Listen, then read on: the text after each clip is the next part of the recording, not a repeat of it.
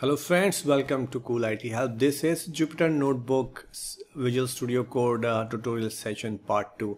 In this tutorial session, we will see how to create, open and save Jupyter Notebook.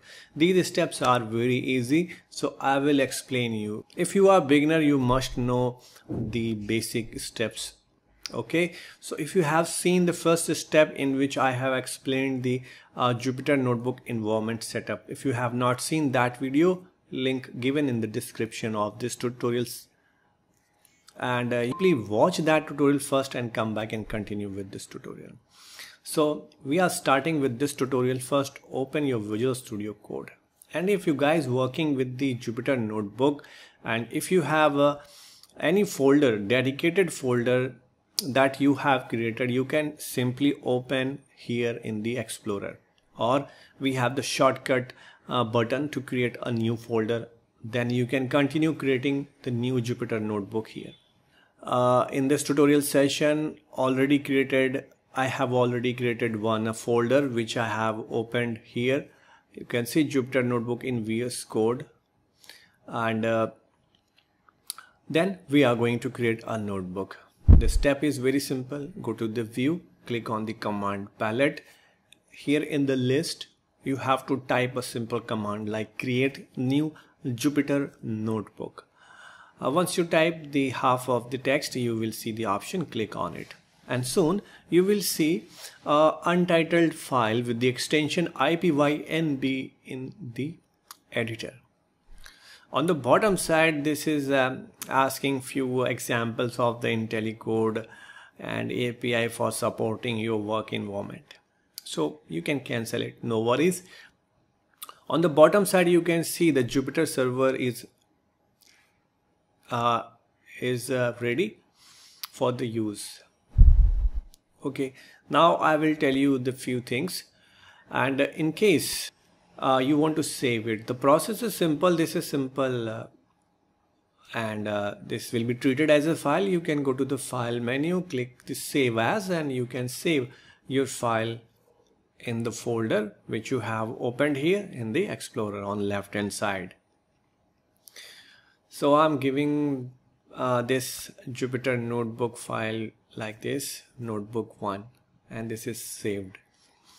You can see here if you have already created any Jupyter notebook and you want to open so simply you have to visit that folder then you need to do the right click right here you can see this is the code cell. Once you click on it this is the selected state and you can write the python code. Now as I was telling you that if you have existing notebook and you want to open do the right click and click here the open. And your Jupyter notebook will be opened with this Visual Studio Code editor now come back here at this code cell. This is the code cell. Now we are ready to write something. On the top we have the different controls like running the different code cells together. If you want to introduce one more code cell, you can press this option plus code. Okay, now I'm just uh, uh, writing two lines of code, declaring the string and then trying to print this string. And working with the Jupyter notebook here in the Visual Studio Code is really easy. Once you set up this environment, definitely you will find the very comfortable environment for your work. And this is the second statement print. Also, if you are working with the Python and you have just came in the Visual Studio first time, so I would recommend to install this Python uh, extension in your Visual Studio Code. So you will get the on the fly uh, IntelliSense linting and uh, the language formatting, refactoring, variable explorer and lot more support in the Visual Studio Code. So this is the basic code which I have written here in this code cell. The same thing I'm trying to copy in the second code cell. This is the third code cell. So I'm sh showing you uh, the interaction and the options available to work here in the Jupyter notebook. So to run it, the code cell on the left side corner, you have one uh, play button click on it then the code will be executed. So I have just done some uh, modification. Instead of putting the str in double quotes I am giving it as a variable. So we will see the print statement uh, the value stored with the string. In the same way the second cell is executed.